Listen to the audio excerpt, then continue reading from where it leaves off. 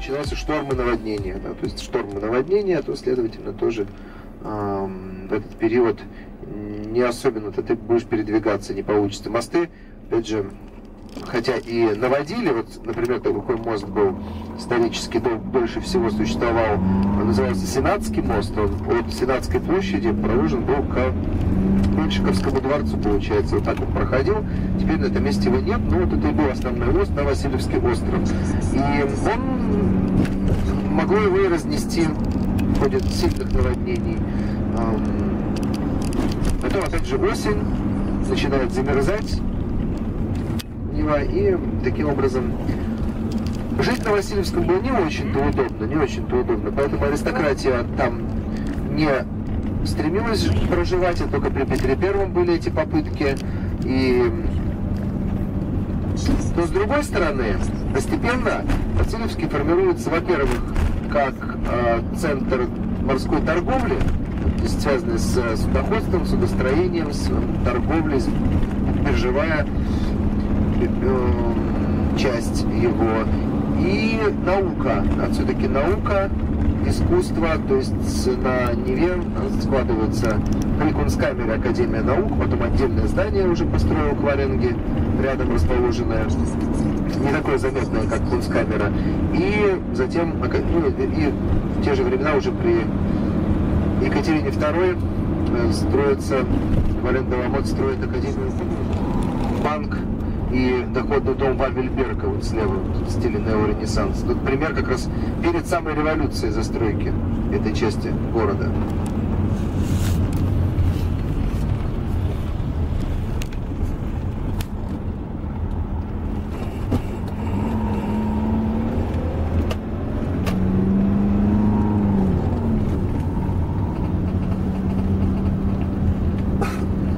Проезжаем мы самые яркие открыточные виды.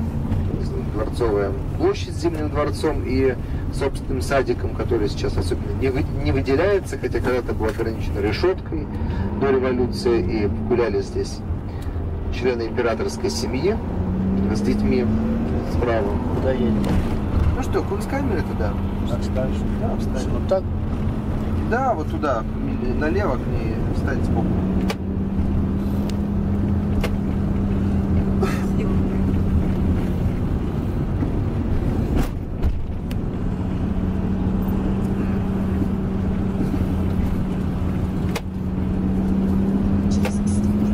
И по Мосту, который был достроен только к 1917 году, то есть вот этот мост, хотя он не считается не главным мостом разводным Петербурга, потому что он от Невского все-таки идет и на стрелку Васильевского острова, но тем не менее он далеко не самый старый мост. То есть старше его и мост лейтенанта Шмидта Благовещенский к западу, и Троицкий мост 1900 года, и Литейный, расположенный за ним, еще на Выборгскую сторону ведущий. Да и, кстати, Обуховский тоже, а, мост Петра Великого. То есть, э, таким образом, Дворцовый мост, хотя здесь и была, периодически наводили временные переправы, но постоянный мост появился только в 1917 году. Кстати, это интересно то, что э, получается Дворцовая площадь, да, и Зимний дворец, да, Царский сад, это было довольно спокойное место. Не было такого ажиотажа и такого шума, э, как сейчас, мимо дворца. Разве что по набережной.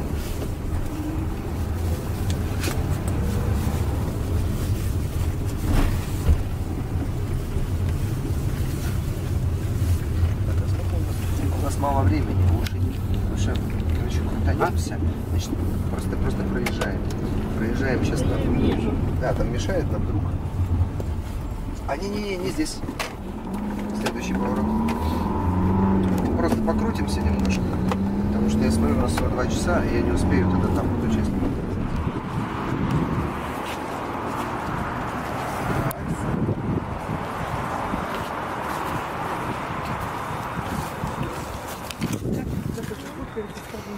Ага. Так. Есть, как мы видим, Меньшиковский дворец находится в состоянии реставрации. А вот к нему примыкают эти корпуса уже кадетские. И в самом дворце располагалось э, командование корпусом здесь в большом бальном зале награждения производились кадетов. Ну а изначально эта территория была э, отдана Петром I для губернатора Петербурга и Ингерманландской губернии, или же Петербургской потом переименовали Петербургскую губернию, Александру Даниловичу Меньшикову. И вот если посмотреть на, в частности, э, план известного изображения, такая гравюра известного художника и гравера Зубова, начала 18 века, то мы с вами можем увидеть Меньшиковский дворец наш, да, вот расположенный, при том, что здесь от Невы, вот корабли, да, по Неве идут, Меньшиковский дворец, а, а дальше в глубине, вот мы видим, что канал уходит, и в глубине еще многочисленные постройки, включая у нее там был летний запасной дворец еще, располагался деревянный, и многочисленные склады, то есть вся эта территория ему принадлежала. И отсюда у Меньшикова была хорошая возможность, в случае чего какие-то товары, грузы, которые прибывали на Васильевский, задерживать у себя. Да, какой-нибудь досмотр, например.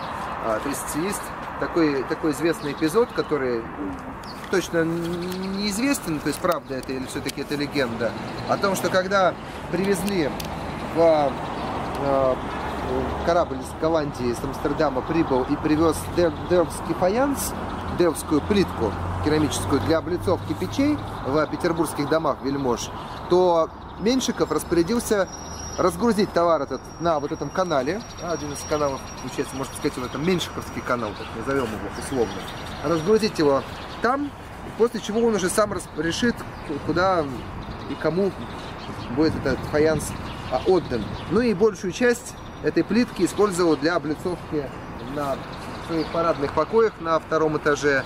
Эм, ну, ну, сейчас там просто были его покои. А, в спальне, его кабинета, спальни его дочери и так далее. Поэтому если сейчас попасть в Меньшиковский дворец, посетить его интерьеры, то вы удивитесь, потому что там стены и даже потолок кое-где облицованы вот этой вот плиткой. Хотя вообще-то она только для печей была нужна и использовалась. Это очень характеризует личность Меньшикова э, со всех сторон, как с точки зрения его казнократства, да, и увлечения э, нецелевым таким расходованием казенных средств, да, и закупленных э, э, Россией, так и бескусицей, которая, ну, такая дурновкусие его было свойственно. Кстати, если посетить этот дворец, у него есть особенности, он отличается от всех остальных тем, что его структура напоминает скорее, на самом деле, внутри э, московские палаты, нежели классический такой наш дворец 18 века. То есть мы входим вначале такие тяжелые своды, подвальное помещение, потом первый этаж тоже для слуг, прислуги, там кухни расположены, относительно низкие потолки, только второй этаж уже парадный с э, картинным залом, с вот, большим бальным залом меньшиковским. Ну, в общем, напоминает он какие-то какие дворцы вот, 17 еще столетия. То есть это в данном случае, хотя и работали итальянские архитекторы во главе с Фонтаной, тем не менее Меньшиков явно э, диктовал, что и как нужно строить. Потом, когда его лишили всех этих да, владений, то семья выехала Березов, а дворец отошел в казну при Петре II, и вот там, у нас здесь разместила кадетский корпус. Обратите внимание, что над фасадом дворца, как и в Вороненбауме, где у Меньшикова дворец тоже э, был, строился в те же самые годы, мы видим корону. Почему же? Откуда же эта корона? Что же это за корона такая? Получается, на Васильевском острове единственный будет такой вот дворец с короной. Сподвижник Петра Первого, потому что... Ну, тем не менее, корона. Как же так? Неужели Меньшиков мог быть коронован? Он действительно хотел свою дочь выдать за свадьбу планировал за а, Петра II. Да, да, да. Но это не признак короны все равно. Э, это не дает ему прав. Дело в том, что Меньшиков был герцогом или князем. Единственный, кстати, в России из русских герцог. Герцог Ингерманландский и одновременно князь Ижорский. То есть такой у него двойной был титул. А герцог, герцоги, как и князья, имеют по геральдике корону. То есть это герцогская корона в данном случае.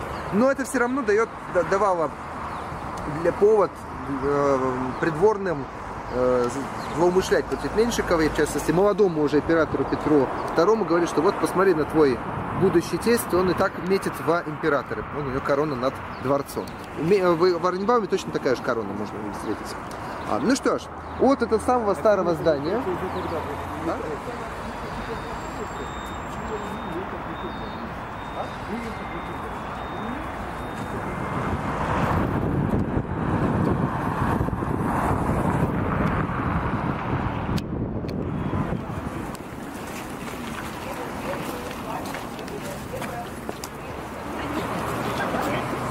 А для Петербурга не характерно наличие пешеходных улиц, хотя в большинстве городов России такие улицы есть, обычно это называют там какой-то местный Арбат.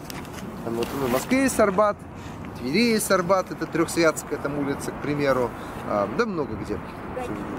Гачи, да, в Гатчине, кстати, да, в Гатчине есть Арбат. Вот в Екатеринбурге я сейчас был, там тоже есть свой Арбат улица Райнера называется. Это улица Бауманов в Казани и так далее. А вот в центре Петербурга такого нет. Но у нас есть идея улицу Рубинштейна сделать такой пешеходный, но пока не сделали. Но по э, частям города, тем не менее, такие места есть.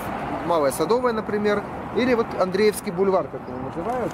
Хотя бульваром он стал только в, превращаться только в 90-е годы. Стал бульвар, то есть до этого здесь была такая же проезжая линия, как две линии как и другие части, но вот этот вот его новый статус, тем, что он стал пешеходный, сделал его и сделал его центром, в общем-то, Васильевского окончательно. То есть здесь стали появляться лавочки, кафе, э, интересные магазины. Ну и кроме того, здесь, конечно, крайне симпатичная застройка, храмы и старинные дома. Мы сейчас с вами пройдем вглубь, ближе к Среднему проспекту, дойдем до э, памятника основателя Васильевскому острова. Пойдемте немного углубимся, а потом вернемся уже к собору.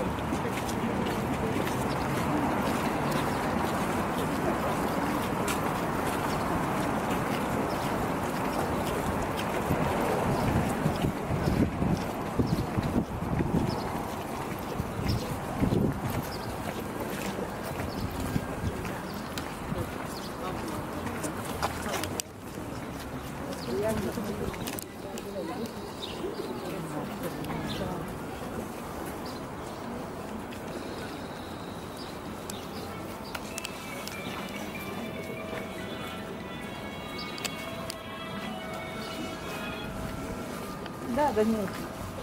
Да, да. Да, привет, привет.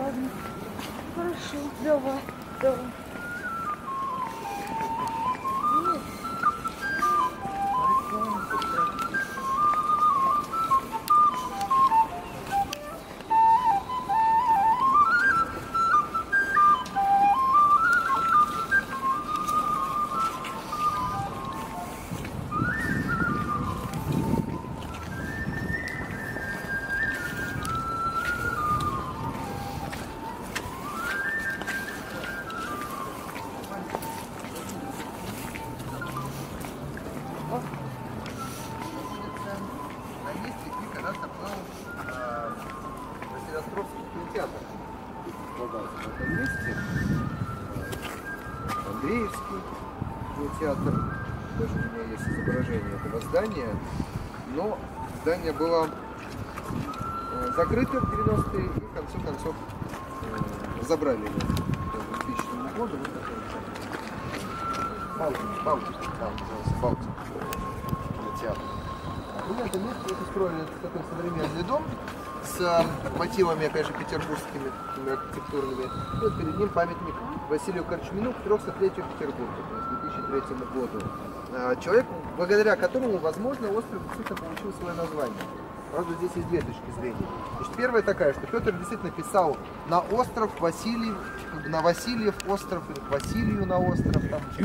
Петр очень специфически писал вообще, у него были большие проблемы с и орфографией, с э, логическим построением текстов, поэтому иногда у него такая там путаница в словах бывает. Он города может называть совершенно по-разному писать. Там, у него Арнинбаум, например, то Ранинбом, то Ранинбум, то э, Рамбов. Вот в итоге Рамбов до сих пор название используется. Здесь то же самое, поэтому понять точно сложно, что имелось в виду. То есть к Васильеву на остров, то есть, да, вот, Васильеву.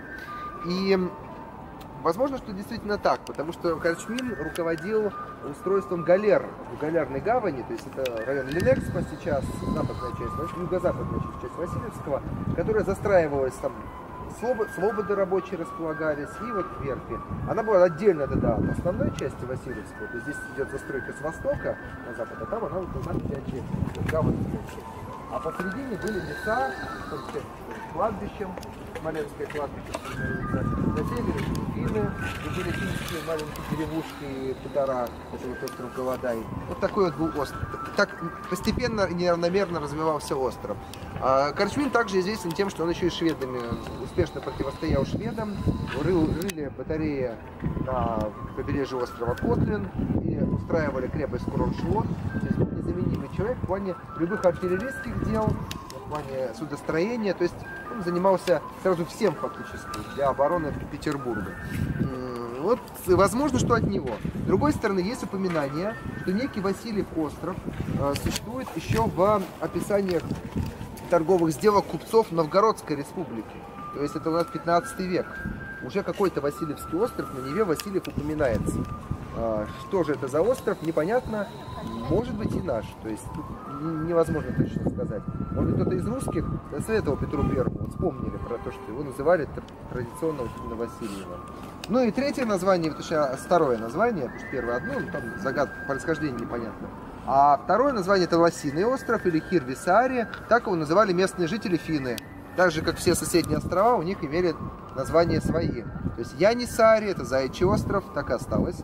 Э, Койвисари, Березовый остров, это теперь Петроградский. Ристисари, это Крестовский, вот он не изменился. А вот Лосиный остров Кирвисари, он стал Васильевским в итоге. Такие, много связано с животными, конечно. Потому что Киссенсари есть такой кошачий остров. Есть Ретусари, это Кронштадт. Котлин это Виси остров. Довольно забавно. Каждый, представим себе как сказка, да, какая-то, что на каждом острове какие-то животные водятся одной породы. Ну, ладно. А мы с вами сейчас пройдем, вернемся к церквам. И вот вы еще могли обратить внимание, что рядом с церквями был еще один старый домик. А, желтый домик. По нему было видно, что он явно старше, чем остальные доходные дома здесь. А, вернемся к ним. А, создавал первые изображения, такие вот э, планы и чертежи домов петербургских, которые потом взял за основу Трезини в дальнейшем. То есть это дома в один или два этажа с богатыми обрамлениями окон, с мелкой растекловкой, конечно же, как было принято в те времена, и с высокой такой вот мансардной крышей, э, характерной для французских зданий, французских, парижских, прежде всего, домов. Ну, кое-что у нас оттуда перешло, как вот в Меньшиковском дворце такие же имеются э, мансарды, где-то их нет. Потом в последующем архитекторы продолжали вот традицию, такая вот петровская барокко. Поэтому дома этого времени, они будут характерны, то есть вытянутые окна с мелкой, ну здесь ну такой мелкой растекловки, но зато вот богатое барочное обрамление окон, фигурное такое, вот, мы его весь видим. И каменные наличники фактически. Заниженный первый этаж, да, то есть вот он цокольный уходит ниже. Это связано с тем, что культурный слой вырос и постоянно приподнимая набережную. А здесь, кстати говоря, интересно, вот мы сейчас стоим, видно, что здесь есть изгиб. Вот по этой линии есть изгиб. Изгиб к центру так, к центру, а потом снова неожиданно поднимается, потому что а, бульвар проходит. Это о чем говорит? О том, что здесь когда-то был проложен канал в конце правления Петра I, а засыпан был только в ну, 1860 году, окончательно, при Елизавете Петровне был засыпан. Есть такие э, э, э, жуткие истории про то, что э, как-то раз ехали, некий был по фамилии Борделиус, э, один из э, ну, преподавателей при Академии наук, один из помощников академиков. Вот его везли в карете, ему стало плохо, он был очень выпивший сильно, вылез из кареты, перевалился здесь, вот на этой линии и утонул в этом канале. Такая вот, хотя каналы, каналы эти были не очень, там было много воды, но тем не менее, вот такая история тоже имела место быть где-то вот примерно в этом месте. Сейчас ты должен себе представить. Дом Троекурова называется, вот один из домов, сохранившийся с петровских времен. А, он перестраивался многократно, но вот теперь здесь кафе пряности и радости. Естественно, интерьеров никаких нет. Но это пример настоящего дома начала 18 столетия. То есть ему уже 300 лет, около 300 лет. Он как раз построен был там, в 23 году, то есть вот ему скоро будет 300 лет этому зданию. То есть такой классический особнячок с э, мансардой, то есть с э, мезонином, да, точнее мезонином на второй этаж, напоминающий какие-нибудь купеческие дома в провинции. То есть вот он, Петербург, еще не сложившийся до конца как такой город доходных домов. И здесь же рядом с особняком стольника Троекурова, который занимался торговыми сделками с иностранцами на бирже, стоят два храма. Оба, опять же, в стиле барочном, еще барокко. Один постарше, церковь трех святителей, вот она первая. Следующий Андреевский собор, он уже при Екатерине II достраивался. Подойдем сейчас к церкви трех святителей и увидим там одну странную табличку при входе. Давайте ее найдем, загадочную табличку.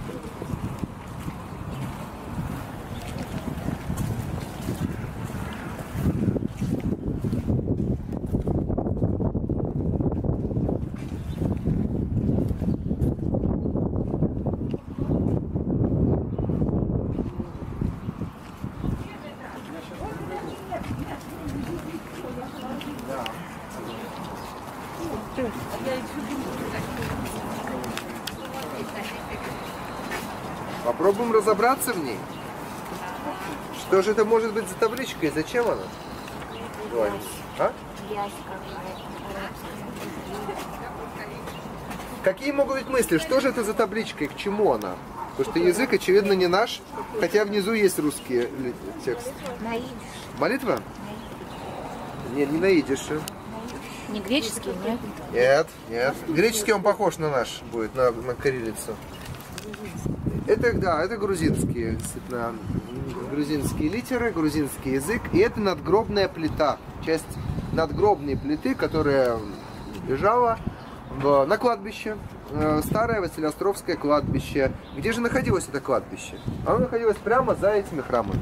То есть вот на этой территории располагалось когда-то первое кладбище Васильевского острова. Здесь изначально был построен при Петре еще деревянный собор Андрея Первозванного. Потом при деревянном соборе в 40-е годы 18 века построена была а, Пьетро Трезини, э, родственника того, первого Трезини. Построена была церковь трех святителей вселенских, как теплая. То есть тот был холодный храм, летний, а зимой службы проводились в небольшой церкви, вот в этой. А уже при Екатерине II построен был новый Андреевский собор, уже каменный. Он теперь тоже теплый, разумеется. Ну и здесь сформировалось кладбище, на котором хоронили совершенно разных людей, в том числе и вот грузинскую девушку, есть, э, можно перевести то, что здесь написано, разумеется. Да? И э, как звучит этот перевод? Это эпитафия. «Любезные братья мои, я была в этом приходящем мире дочка хитинского князя, обергов-маршала Джарджазева, и получила при святом крещении имя княжны Гуки. Божью волею я была в супружестве за князем Грузинским, первого разряда майором Эдишером Эмирхаровым, и провела всю жизнь с ним в сердечном согласии. Лишившись отечества и своего имения, я прибегла в землю иностранную, перешла от мира сего в столичном городе Петербурге 28 марта 1745 года на 37-м году моей жизни. Иностранка, я, купив на деньги свои это место для моего приличного погребения, положено в земле, в церкви святого апостола Андрея, не оставив детей, которые бы молились за меня, Отцы и братья любезные, видя гробницу чужеземной грешницы и камень, покрывающий меня, молитесь Господу за меня, дабы Он простил грехи наши. Вот такая вот эпитафия. От чужеземной страны, которая не оставила детей, им некому за нее молиться было. Ну вот теперь есть кому на нее молиться, если да, прихожане приходят, могут помолиться, если знают перевод, конечно особенно, наверное, те, кто грузинский знают, грузины. Грузины, как известно, православные, да, часть православной нашей ортодоксальной церкви, и, конечно, являлись прихожанами а, в церкви православной. А церковь сейчас внутри отреставрирована, поскольку она была закрыта, здесь а, ну, складские помещения располагались, в соборе рядом был филиал музея городской скульптуры какое-то время, то есть поэтому там сохранился иконостас. Вот иконостас в Андреевском соборе, его можно сейчас будет увидеть, зайти внутрь. А поэтому я думаю, что давайте, наверное, церковь, она, это не так внутри интересно. Вот предлагаю в собор заглянуть, немножко там согреемся, а потом я про него расскажу. Про Андрея и про его значение. Вот здесь сделали это кладбище. Всё.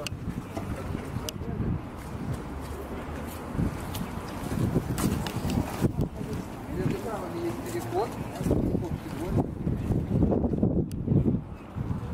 Андреевский собор – это главный собор Васильевского острова.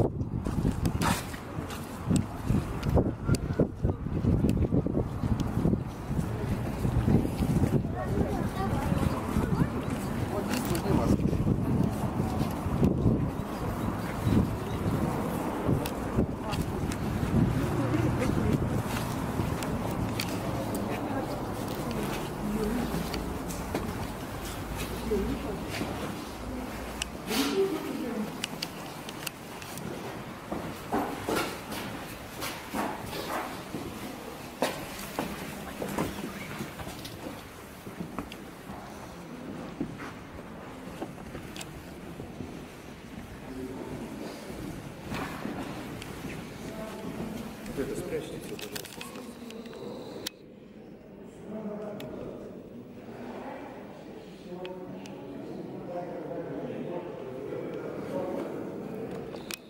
Награда России, э, появился еще в конце, награждение первое еще в конце 17 столетия, произведено. Петр Первый не первый кавалер этого ордена, он получил его одновременно с Меньшиковым, а после того, как они освободили устье Невы от шведов. Участвовали в сражении, которое называется «Бой в устье Невы». Два шведских корабля были захвачены русскими галерами в районе это было 4-5 мая ночь а, во главе с Петром Первым и Меньшиковым. Эскадра, небольшая флотилия, захватила два корабля. После чего Петр тоже был награжден этим орденом, как и Меньшиков. А, и поскольку Васильевский остров должен был стать главным центральным местом Петербурга, и здесь должен был сложиться ансамбль аристократических домов, то именно поэтому и собор, который строится здесь еще деревянный при Петре, вот на этом месте, получает э, вот на- наименование в честь Андрея Первозванного. То есть это святой, пришедший на, в северные земли, точнее апостол, да, апостол Андрей, пришедший в северные земли, в Скифию, где э, поведал о деле Христовом. Да, и несмотря на то, что сведений никаких нет, что А- Андрей Первозванный добирался до наших северных территорий, тем не менее это все равно традиция, считается, что вот именно Андрей, он первый такой креститель северных земель, русских, да, российских земель. Андрей Первозванный. Андрей. Вот надо посмотреть, как он выглядит.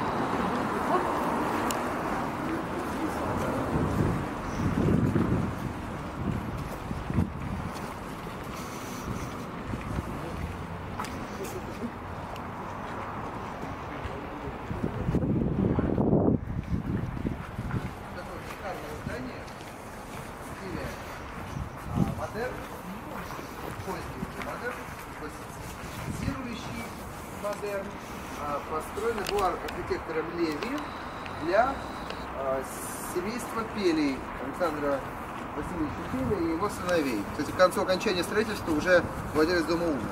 Так что много здесь он наколдовать бы не успел как это говорят про Кингстоп. Другое дело, что до этого дома было более скромное здание, в котором тоже у Феля была квартира. И когда этот дом был перестроен, то здесь разместилась и аптека, да, разумеется, сейчас аптека действует на первом этаже. И здесь же разместилась э, клиника Пеля, да, где он принимал, занимался частной практикой. Причем у него, э, в частности, было, например, направление лечения мужских и женских болезней. То есть это была довольно популярная такая развивающаяся сфера в медицине. Вот он со- соответственные лекарства в том числе изобретал для мужской силы, например. И здесь же у него действовала лаборатория, э, квартира, располагались на верхних этажах выше. И при здании также действовала э, контора русского для внешней торговли банка. То есть э, банк также располагался в этом доме. Вот такой вот получается дом, где совершенно Здесь люди и живут, и лаборатория, и аптека, и банк. Такой многофункциональный дом получается. А, и снимать могли квартиры в том числе. А внутри, во дворе башня. Загадочная вот эта башня Грифонов расположена. Мы туда а, сейчас пройдем во дворик. Во-первых, познакомимся с улочками, а, помимо линии Васильевского острова, с маленькими улицами, которые внутри кварталов расположены. И поговорим в том числе об этих Грифонах. Давайте сейчас обойдем.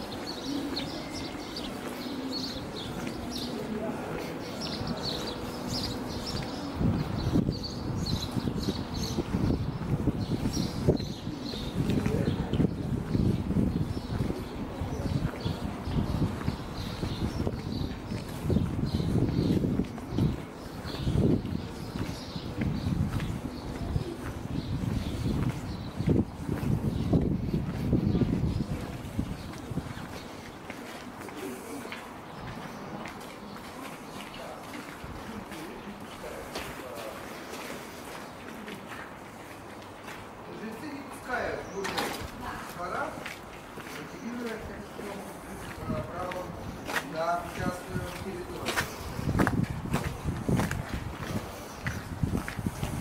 И связано это было с тем, что уж больно много людей стало шастать по двору. Причем, ладно, экскурсии. Экскурсии, понятно, что сюда захаживали. Сюда захаживали частные лица, которые начинали представлять себе этого пеля и, возможно, вкладывать в себя разными алкогольными веществами в связи с всеми байками про телефоны, что привело к тому, что их стали гонять. Если и закрыли все, что можно. Хотя иногда жильцы выходят и заходят, и тогда можно проникнуть. Но правда, есть проблема в этой двери. Если она закроется изнутри, вы тоже не откроете. Там. А пока они не вызовут уже полицию и всех так что мы туда внутрь не пойдем сейчас, да и не будем никого просить. Но э, именно там расположена труба кирпичная, э, которой, из которой когда-то валил дым прямо над э, домом, над лабораторией. Ну и вот появилась эта легенда про то, что Пель будто бы выводил в трубе яйца грифона.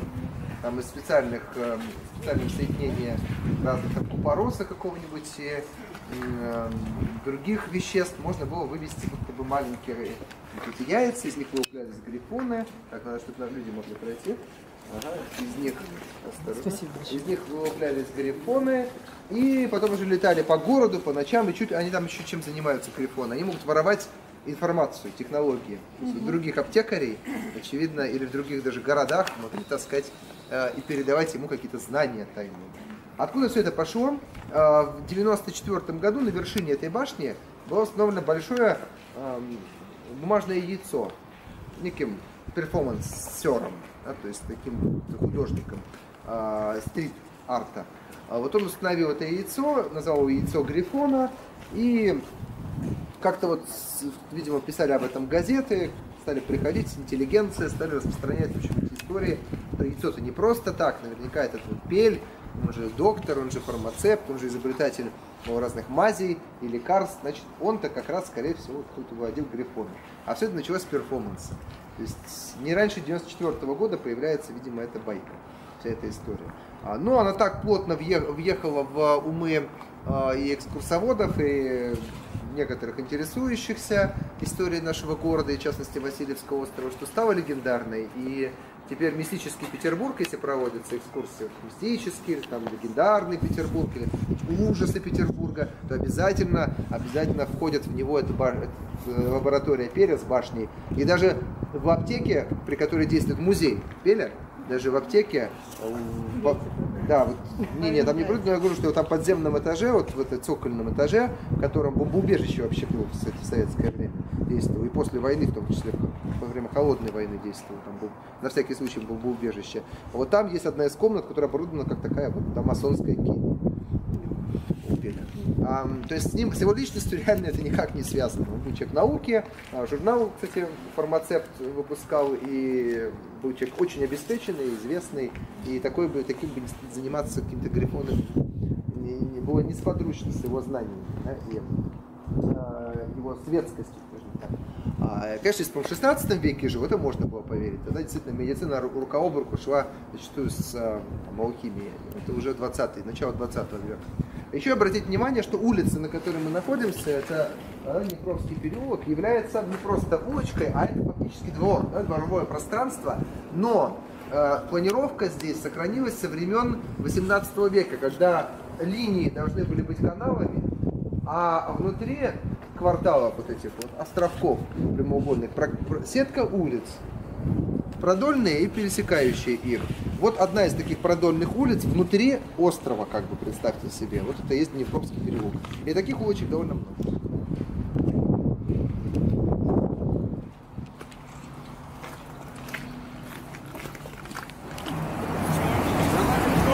Я тут подходил, играя какой-то Я просто подарил его. Уже он сказал, взрослый.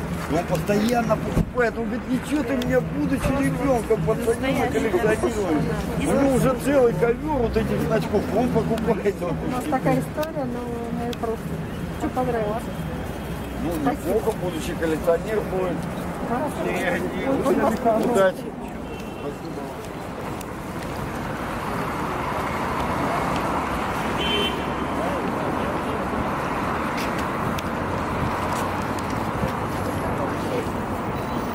Были, да?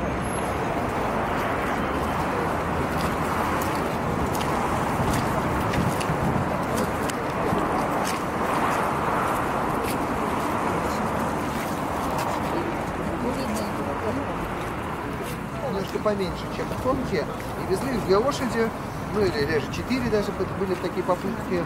Э, Амнибус это фактически большой дирижанс, считался, большой дирижанс, по которому, например, по Невскому проспекту можно было проехать, или же на рабочую окраину добирались, или изредка амнибусы даже выезжали за пределы города, там где более-менее были неплохие дороги, например, озерки. район Озерков или Черной речки. Пример. А в 1863 году запустили э, линии конно-железных дорог. То есть по рельсам проложены были, проложены были рельсы, но ходили по ним еще не трамваи, а ходили вот вагончики с лошадьми. И причем, вот обратите внимание, в этой конке э, можно и на втором этаже сидеть. Только второй этаж, он, если уж не получилось, внутрь, да, холодный. Страдать наверху. Хотя, какая погода. И вот конно-железные дороги доминировали в Петербурге до 1908 года. То есть на протяжении 45 лет ездили именно на конках. Хотя они были ужасно медленные. Лошади не могли быстро тянуть э, этот вагон тяжелый. И скорость была порядка 5 километров в час. Средняя скорость была. А то и медленнее, потому что что-нибудь кто-нибудь загородит, загородит проезд, и конка встала. И все. Поэтому была шутка, конка, гонка, догонит цыпленка. Такая была шутка. И, следовательно, пешком было идти быстрее, на самом деле. Но преимущество конки было в том, что можно было проехать, не засорив обувь, штаны, потому что грязи было раньше еще больше, чем сейчас. Поэтому в этом отношении конки было, конечно, преимущество. Потом со временем пустили конки и по льду Финского залива. Ой, ну, не вы, да, не вы, конечно, по льду не вы. А, между островами. И э, со временем заменили их трамваями. То есть какое-то время были насыпи на льду, создавались на насыпях уже рельсы прокладывались. Э, Конка, конечно, только по рельсам шла, а трамвай еще и э, линии электропередач соединяли. Ну а в 1908 году от этого всего отказались и пустили по городу трамвайные линии, а конки разобрали.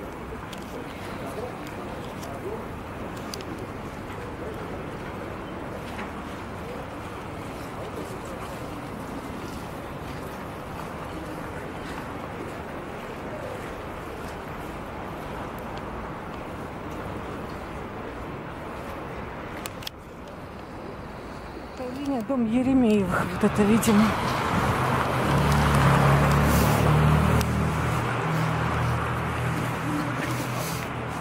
Вот это дом Еремеевых, да? Да, да, да. Местные никто не знает. Иногда выпадает. Это правда. Это 1903-1905 год. То есть как раз когда здесь рабочая окраина складывалась, предполагалось, что 30 обеспеченные рабочие э, снимать квартиры будут. Покупать, а не только горожане. Поэтому вот он такой многоквартирный. Не-не-не, лифтов не, ну сейчас есть, а раньше не было. То есть это доходный дом, да? Я просто опоздала. дом, да, Ага, все классический ясно. доходный дом, но а, выше, чем обычный. А теперь зайдем еще на- по пути Кирхи, увидим самую маленькую площадь Петербурга. Так ее называют. правда, местные жители.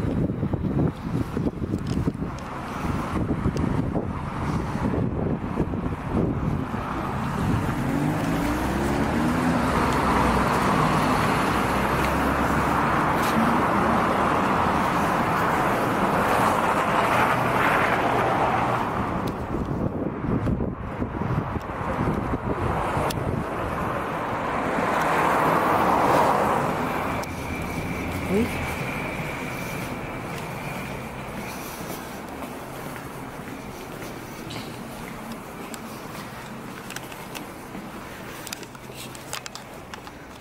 Вагоны, кварталы, жилые массивы.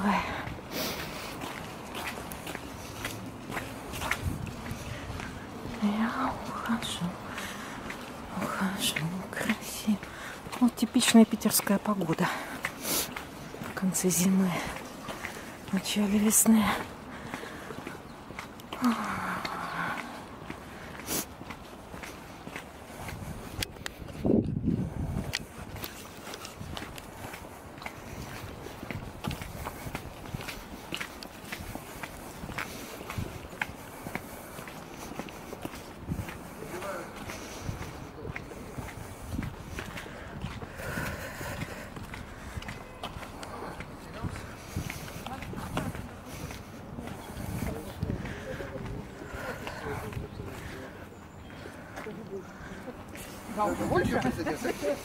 Вот называют это пространство Флигельная площадь. Местные э, ТСЖ вместе с жильцами решили так ее обозвать.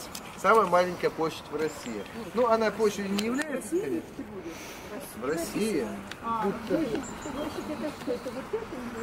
Ну, подразумевает, я понимаю, пространство, вот это вот пространство. То есть вот от дома наверное, до этих домов, вот И прям, прям, прям площадь. ну и включая до детской площадки. Другое дело, что она, конечно, да. не площадь, а это да. просто дворы, но к чему отсылают? Потому что а, по проектам Трезини здесь должна была сформироваться площадь, одна из Ага. городских площадей а, внутри вот этого острова, да, очередного острова, разделенного каналами, должна была быть а, торговая площадь, одна из. И, следовательно, а вот она и получилась в итоге, такая торговая площадь. Называется она флигельная, то есть на нее выходят а, пристройки к доходным домам, то есть дома поменьше, где проживали люди попроще, не самые обеспеченные. Здесь же были и лавочки, там сапожные дел мастера работали, и вот э, могли чинить кареты, ну, вот каретные мастера. Видите, там как раз мастерская, кровельная мастерская, видите, написано. То есть до сих пор какой-то мастер там живет и работает. Значит, чинит кровлю получается. И в итоге вот формируется именно на благодаря вот этим большим внутридомовым э, квар- кварталам, внутриквартальным территориям,